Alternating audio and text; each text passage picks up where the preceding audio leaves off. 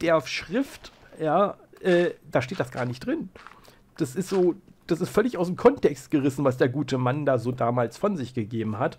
Und da war dann aber natürlich wieder voll so eine Kontroverse, wo sich dann hier gerade so die römisch-katholische Kirche und dann hier die, die Neugeistler und die Lutherier und da haben sie sich da alle jetzt da am Facebook da gestritten,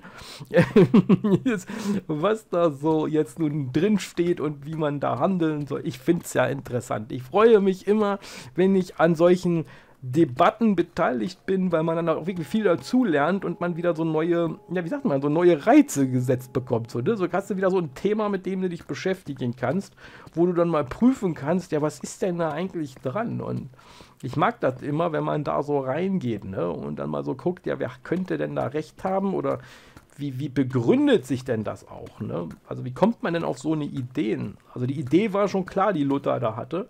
Der gute Mann hat ja auch manchmal immer ein bisschen tiefer ins Glas geguckt, wie man wusste. Ne? Und da kann ein so, so ein Fauxpas auch mal passieren. Nur dass sich das über ja, so viele Jahre hält und ja, das auch zu so einem Glaubensfundament wird, das ist dann natürlich wieder ja, die Psychologie der Masse. Ne? Also wenn viele Leute etwas tun, ab einem gewissen Prozentsatz schließt man sich dem automatisch an, weil man halt das Gefühl hat, sonst im Abseits zu stehen. Das heißt also genau das Gegenteil von mir, weil ich ja generell immer mit meiner Meinung meistens immer am Abseits stehe weil das halt nicht Mainstream-mäßig ist. Äh, ist halt interessant. Eine typische Philosophie aus dem alten Griechenland. Man ist halt auf der Agora immer auf sich allein gestellt am äußersten Rand. Im Abseits, wie es auf dem Fußballplatz heißen würde. Ne? ja, geil. Nee, finde ich cool irgendwie, weil macht mir Spaß, einfach sich so ein bisschen zu bilden. Ist ja, gehört auch mit zur Allgemeinbildung, ne? Und jetzt kennt man wieder so ein paar Zusammenhänge mehr und finde ich immer coole Sache. So, gut, haben wir das mal so weit besprochen. Nee, sonst ist tatsächlich gar nicht so viel passiert. Klar, wir haben leckere Sachen gegessen. Wir waren wieder in Brandenburg unterwegs und haben wieder hier und da ein bisschen was gemacht. Aber so, ähm, ja, mein Gott, also jetzt so wirklich interessantes jetzt in dem Sinne, dass man darüber sagt, so Mensch, das ist aber ein Highlight gewesen oder so. Das war jetzt nicht gewesen. Ja. So, wie machen wir das jetzt hier mit der Fackel? Das ist ja auch irgendwie alles ein bisschen blöd. Ich brauche unbedingt eine Mine oder sowas.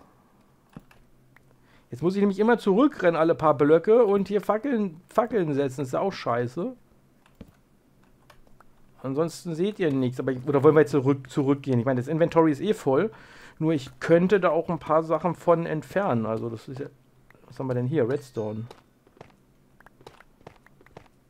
Was haben wir jetzt hier? Hier ist Tuff... Nee, was ist das denn? Tuffstein. Ist das ein Zeichen, dass eine Geode kommt? Kann das sein? Warte mal, Tuffstein. Ey, wir sind voll verstopft.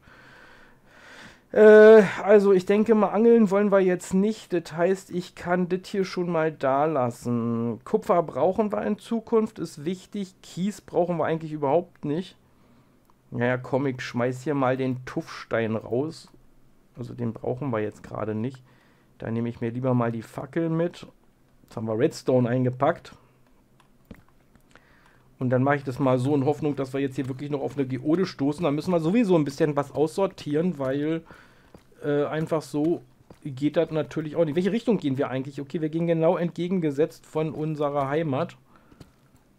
Oh Leute, das ist scheiße ohne Fackeln. Wir hatten 64 Fackeln. Wir, voll, wir waren voll verschwenderisch gewesen mit den Fackeln da auch. Hey, gib mir mal die Fackel. Shit. Hat keinen Sinn. Scheiße. Alter. Was mache ich denn jetzt? Jetzt sehe ich gar nichts mehr. Na, ist ja klasse, Freunde. Da hinten sehen wir jetzt eine Fackel. Also, wir gehen zurück, Leute. Hat keinen Sinn. Hat keinen Sinn. Wir haben jetzt gut Inventory voll. Also, wir haben auf jeden Fall ein bisschen was mitgenommen. Ich werde jetzt mal hier die Fackeln wieder mitnehmen. So. Ich werde jetzt die Fackeln mal wieder mitnehmen und dann werden wir das mit den Fackeln in einer anderen Richtung versuchen. Ja, also okay, nächstes Mal nehmen wir ein paar Stacks mehr mit. Guck mal, wie sich das jetzt wieder sammelt, ne? Weil hier ist klar, dass wir keine Fackeln mehr haben, weil sie hier überall sind. Was ich jetzt machen könnte, theoretisch. Warte mal, ich könnte die Fackeln. Können wir noch mehr nehmen? Ich überlege gerade. Eigentlich können wir doch die auch noch holen und dann rennen wir einfach durchs Dunkle und dann machen wir da einfach weiter mit den Fackeln. Was hält mich davon ab eigentlich? Warte mal. Hier ist auch noch richtig. Hier kann ja nichts passieren, ne? Nö. Und hier waren wir eh begrenzt. So, dann haben wir 21. Freunde, komm, das machen wir. Wir rennen da jetzt einfach durch und dann machen wir da neue Fackeln setzen. Was soll der Quatsch? Einfach schnell durchs Dunkle. Was soll jetzt hier ein Monster kommen? Da kommt kein Monster. Komm. Zack. Und da hinten war auch kein Loch oder so. Wir gehen jetzt einfach mal immer geradeaus. Ihr seht jetzt einen Moment nichts. Ja, aber hoffe nur, dass uns hier King Creeper begegnet. Laufen wir überhaupt noch? Ja.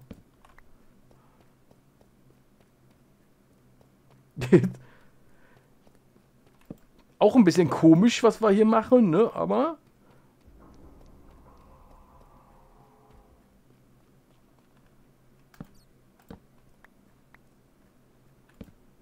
Okay. Wow. So, würde ich sagen, Jetzt haben wir 21 Fackeln wieder. Wir können jetzt weitermachen, Freunde. So einfach löst man das Problem. Wir müssen uns nur von so ein paar Sachen trennen. Ich hoffe ja, dass wir irgendwie auf eine Mine stoßen. Mh, auf eine Mine stoßen, wo ich mir dann mal so ein bisschen Holz abpolken kann. Dann kann ich mir nämlich ähm, neue Stickies machen und dann kann ich neue Fackeln machen und vor allen Dingen auch eine Kiste bauen, wo wir den ganzen Kram da mal, den ganzen Krempel da mal reinpacken. Wird langsam Zeit, dass wir mal ins End gehen, oder? Und uns mal so ein bisschen so mit, den, mit dem Thema mal... Oh, Okay. Hier ist wieder so eine... Ist das eine Geode? Nee. Aber sind die, die sind ein bisschen seltener, kann... Oh mein Gott. Ähm, Geoden sind seltener, kann das sein? Die sind jetzt nicht so an jeder Ecke irgendwie. Weil wir haben ja noch gar nicht eine Geode gefunden, also... Hm. Hm, nee. Gut.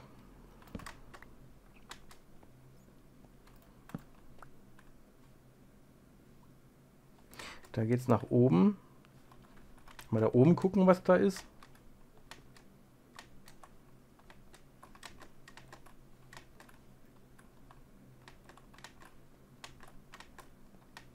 Da ist was Helles.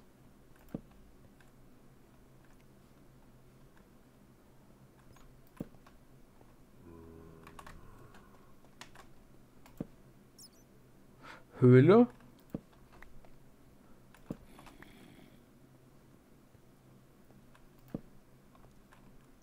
Höhle.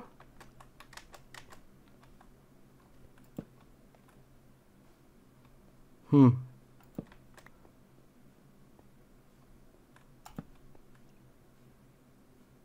Da hinten geht es irgendwie weiter. Ist das eine gute Idee oder ist das eine schlechte Idee? Ich habe keine Ahnung.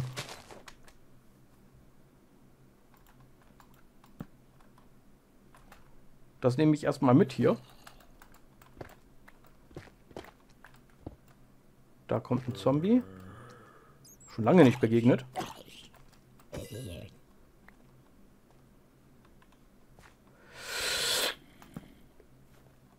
Also haben wir hier so eine kleine Höhlentour hier. Oh, krass, erschrocken. Und einmal weg. Ja, ein bisschen Thrill muss er hier auch drin sein, ne? In dem Play, im Gameplay hier. Nee, Freunde, scheiße, hier ist nix. Nix Geode. Mist. Wieder nur elf Fackeln hier.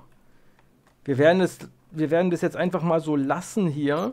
Und dann werde ich jetzt erstmal den ganzen Krempel, ey, wir sind ja dermaßen verstopft. Das werde ich jetzt erstmal alles hier irgendwie mal so nach Hause bringen. Also so weit sind wir ja von zu Hause nicht entfernt.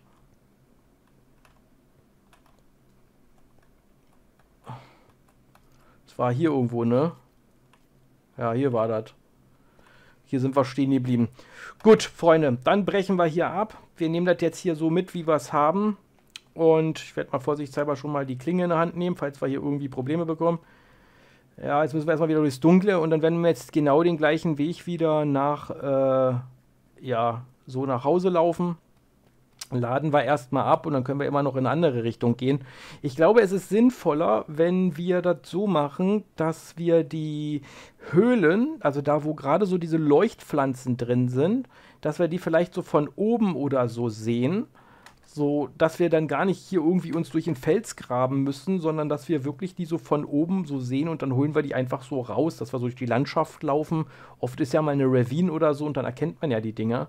Dass wir halt so eher an der Oberfläche laufen, als jetzt hier so durchs Dunkle uns hier irgendwie so, ja, Strip-Mining zu tun oder ähnliches. Ich glaube, das wäre sinnvoll. So, die Dinger nehmen wir wieder mit. Die sparen wir uns einfach, weil was, hier kommen wir eh nie wieder her. Also von daher nehme ich die jetzt einfach mit. Ja. Huch. So. Schade, ich hätte jetzt gedacht, so Mensch, geil, geile Folge, machst du mal hier so Geode oder so, ne? Und ja, aber das ist mir halt nicht gegönnt. Ist mir nicht gegönnt. Warum, was ist denn hier los? Hä?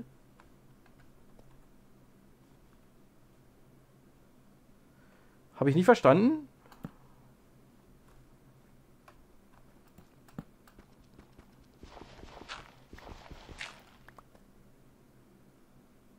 Achso, wir haben uns hier. Ah, wir, wir hatten uns hier reingegraben, weil wir hier angegriffen worden sind. Jetzt weiß ich es wieder. Genau, hier oben waren die Fackeln. Hier hatten wir irgendwie so ein. Oh, guck mal, hier sind unsere ganzen Fackeln. Die haben ja gesucht, ne? so.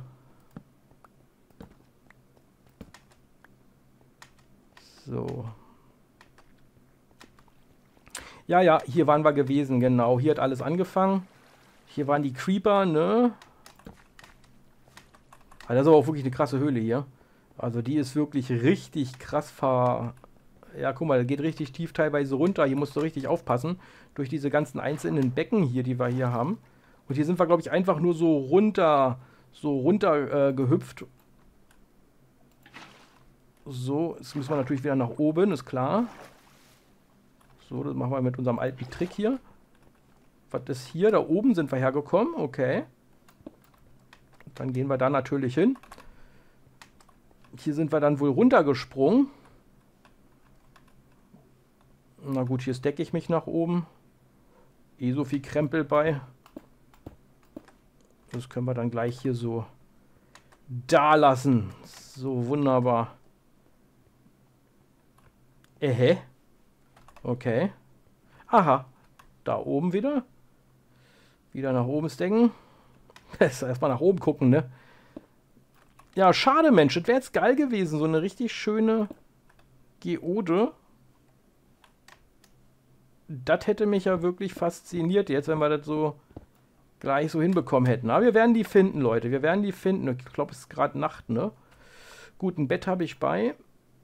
Hm. Dann müssen wir hier mal kurz schlafen. Ich hoffe, dass jetzt hier keine Monster in der Nähe sind. So, guten Morgen. Sieht gut aus. Da oben sehe ich auch schon den Himmel. Okay, würde ich sagen, souverän zumindest den Ausgang gefunden. Wenigstens etwas. Von dem her haben wir erstmal keine... Was ist denn da oben? Jetzt erzähl mir nicht, da oben sind Leuchtpflanzen. Also wenn wir die noch mitnehmen könnten jetzt, dann hätte sich das wenigstens ein bisschen gelohnt aber sieht nicht danach aus. Ne, jetzt sind wir wieder komplett an der Oberfläche und ich sehe auch schon, da wartet ein Creeper auf uns. Schnell weg, schnell weg und der Zombie brennt. Okay, so. der wäre fast explodiert, ne? Okay, der lässt schon ab. Oh, wow.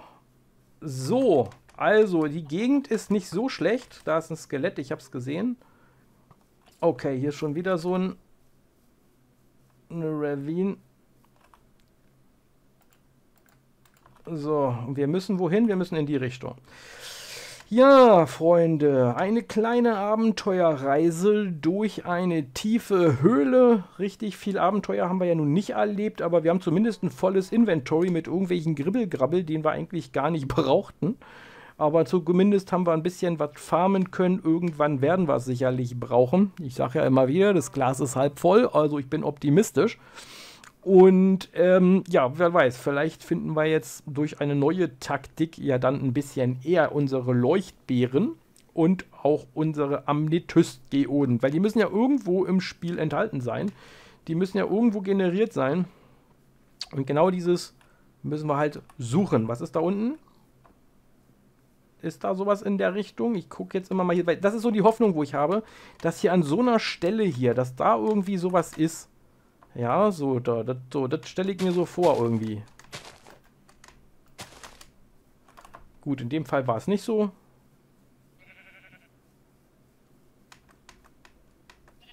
Naja, so, hier sind ein paar Birken. Hm,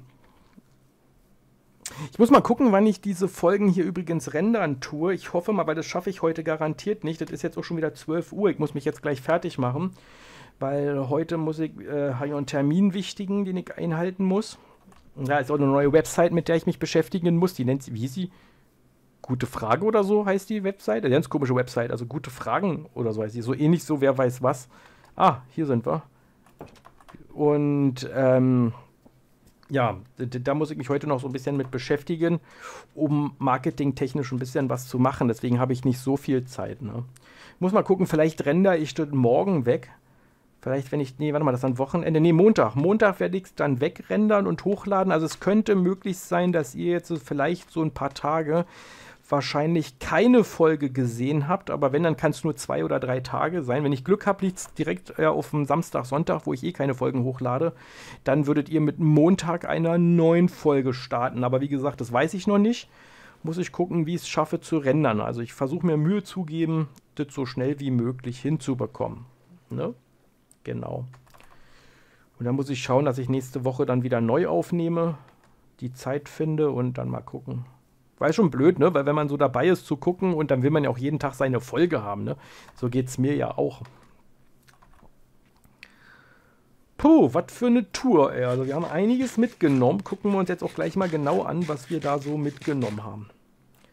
Außer, dass ich hier gerade Vollzahl laufe, ey, weil der dermaßen schwül draußen ist. Ey. Wir haben eine Luftfeuchtigkeit. Neulich auch ein riesiges Gewitter gehabt. Da dachte ich auch so, meine Fresse, ey, da los so.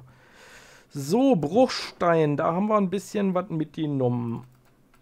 Packen wir das mal rein. Okay, also zwei Stacks etwa haben wir mitgenommen. Jetzt haben wir ganz viel Lapis.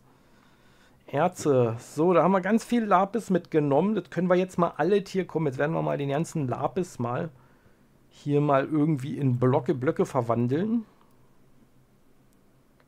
So. So. Oh, da ist ja wirklich einiges an Lapis. Das ist ja wirklich schön. So, sechs bleiben übrig. Die brauchen wir dann zum Verzaubern. So, da haben wir 20 Blöcke. Na, das ist doch mal nice. So, schaut mal einer an, Freunde, was wir hier an Lapis haben. Also verzaubern können wir hier wirklich ohne Ende. So, was haben wir noch mit dazu gekriegt? Eisen, Rohmaterial, gut, brauchen wir nicht. Kupfer haben wir hier irgendwo. Genau, Kupfer baller ich da rein. So, jetzt ganz wichtig, da, warte mal, das packe ich mal gleich hier hin, damit will ich mich nämlich beschäftigen. Da haben wir diese Dinger hier mitgenommen. Tropfsteinblock und spitzer Tropfstein. Die brauchen wir nämlich für unsere Höhle. Also das war somit das Wichtigste, was wir jetzt erstmal mitgenommen haben als Deko-Element. Das ist sehr, sehr gut. So, dann machen wir erstmal hier die Kohle da rein. Redstone können wir da reinballern. Hier sind Monster-Drops. Drop, Drop, Drop. Das kommt darin. Äh, Gold haben wir noch mitgenommen. Okay, Gold haben wir jetzt auch wieder. Oh, okay, Gold haben wir auch wieder ein bisschen mehr, sehe ich gerade. Müsste man auch mal schmelzen wieder. So, und wir haben Deep Slate wieder mitgenommen, 9. Ja, Bruchtiefenschiefer ist auch wieder neu dazugekommen. Die Kiste ist wieder voll. Sehr schön. Sehr, sehr schön. So, und der Rest, der bleibt mal wieder übrig. Den muss ich dann nochmal sortieren. Den baller ich hier erstmal rein. Was wir da haben. So. Genau, das sortiere ich dann in Ruhe, wenn wir wissen, wo wir das Gedöns hinpacken. Also, Tropfsteingedöns brauchen wir nicht mehr. Ich glaube, wir können diese Dinger auch vermehren. Das heißt also, dekotechnisch sollte das kein Problem sein, weil die wachsen ja, glaube ich, auch, ne? Durch Wasser. War das nicht so? Ich glaube, die haben Wachstum, die wachsen. Das heißt also, die können wir immer wieder, die Dripstones, die können wir dann immer wieder farmen. Also, das passt auf jeden Fall. Wenn nicht, machen wir eine Dripstone-Farm. Das kriegen wir hin. So, was jetzt fehlt, sind diese Leuchtbeeren. War doch so, oder? Fehlen die oder haben wir die schon? Ne, die fehlen, glaube ich. Genau, die hatten wir nicht. Leuchtbeeren fehlen und ja, diese Amnethyst-Geschichte, die fehlt. Wir brauchen eine Geode. So, also das heißt, wir müssen noch mal los. Und diesmal nehme ich mir mal ein paar Fackeln mehr mit. Freunde, ich nehme mir mal ein paar Fackeln mehr mit. Ähm, Holz und Holz. Wir werden Holz mitnehmen, Leute. Wir werden Holz mitnehmen. So, also erstmal nehme ich mir hier Stickies mit. Hier sind übrigens noch Fackeln. Die nehme ich auch mal mit. Jetzt haben wir 38. So, und dann werden wir ganz wichtig Holz. Wir nehmen jetzt, wenn wir auf Reise gehen, immer Holz mit. Sodass wir im Notfall immer uns neue Fackeln machen können, Kisten bauen können und, und, und. So, jetzt haben wir hier zweieinhalb Stacks fast. Das sollte erstmal eine Weile reichen. Das ist sehr gut. Aber ich nehme trotzdem noch Holz mit. Wir werden, guck mal, wir haben doch bestimmt hier noch erstmal hier die Stickies. Und hier oben hatten wir doch irgendwo Fichte haben wir, glaube ich, ganz viel, ne? Ja, das sieht, das sieht gut aus. So, guck mal, wenn ich hier die Hälfte mitnehme, 16 Rohblöcke, da kriegen wir richtig viel raus. Damit können wir im Notfall Kisten bauen, Crafting Table bauen, alles, was wir so brauchen. Und dann sollte das passen. Die Richtung fand ich eigentlich ganz gut, die wir da gegangen sind. Also die sah vielversprechend aus. Ich würde sagen, in der nächsten Aufnahmeseason werden wir das nochmal machen. Jetzt sind wir besser ausgerüstet. Hier ist auf jeden Fall genug Platz drin. Dripstones brauchen wir nicht mehr. Ähm, was brauchen wir jetzt? Leuchtbeeren und Amnethyst. Das ist alles. Freunde, war es gewesen. Nächste Aufnahmeseason, nächste Woche machen wir weiter mit Wandern. Könnt ihr euch schon mal drauf freuen. Wir machen wieder Wanderung. Und ja, dann war es das gewesen. Erstmal schönen Dank fürs Zuschauen, fürs Interesse und bis zum nächsten Mal. Tschüss.